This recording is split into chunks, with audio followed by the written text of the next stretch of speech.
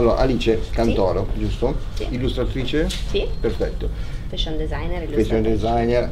Perfetto, allora fa- inizia a spiegarmi fashion designer e illustratrice. Sono due mondi che sono apparentemente molto simili, ma invece non lo sono. Esatto, che però si possono comunque fondere e- ed è quello diciamo che, che vorrei eh, diventasse la mia vera e propria carriera, no? Illustratrice o di fashion moda. designer? Illustratrice di moda. Ok, per cui Esatto. adesso no, no, in questo tipo di progetto tu hai aderito e hai eh, deciso di dipingere delle vetrine. Assolutamente. Per cui questo tipo di dipinto potrebbe partire anche su un tessuto e di conseguenza da lì parte un progetto o Ma eh, la composizione anche un po' del- di questa vetrina ricorda un po' quella dei pattern che si utilizzano anche appunto nei, soprattutto nei, nei- nei tessuti, no? E diciamo che mm, il, il fatto di mm, virare la- le mie capacità sull'illustrazione e, e non solo soffermarmi solo ed esclusivamente sulla moda, è anche perché attraverso l'illustrazione eh, si può eh, raccontare e si può anche appunto denunciare attraverso degli slogan, eccetera.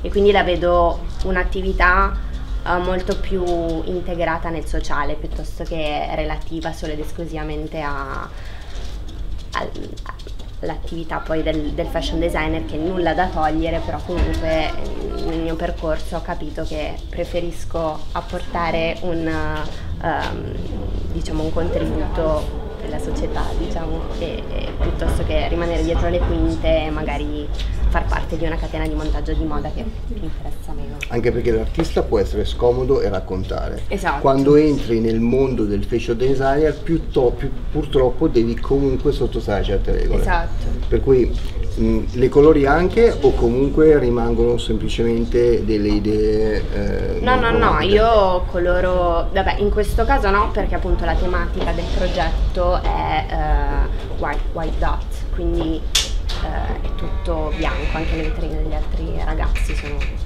eh, altrimenti sì, io i miei lavori di base li coloro, anche se la linea è il tratto fondamentale, perché è un po' il segno di riconoscimento, è un po' la, eh, la- la struttura in cui poi eh, esprimo, riesco ad esprimere dei concetti.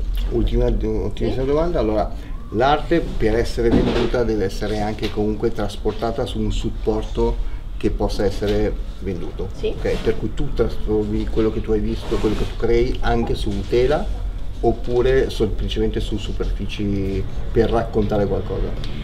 Ehm, io diciamo che il mio lavoro è sia manuale che digitale, quindi mm, diciamo disegno su, su supporto cartaceo e poi digitalizzo su computer e coloro eh, a computer.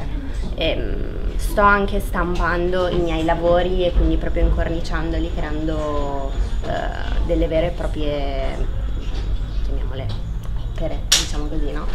E, mm, quindi per il momento è, è tutto molto mm, in fase di costruzione, diciamo così. Per cui nell'arte opera prima significa ok, disegno, digitalizzo, Sì. stampo, Sì. ma ogni colorazione ha una vita differente, per cui ogni opera sarà differente Sì, dall'altra, esatto. giusto? Per cui comunque riesci a ricreare poi comunque intervengo eh, personalmente. personalmente, Per cui l'unicità dell'opera rimane. Esatto, assolutamente. Perfetto. Grazie mille Alice, Ok, è stato un piacere. altrettanto, grazie.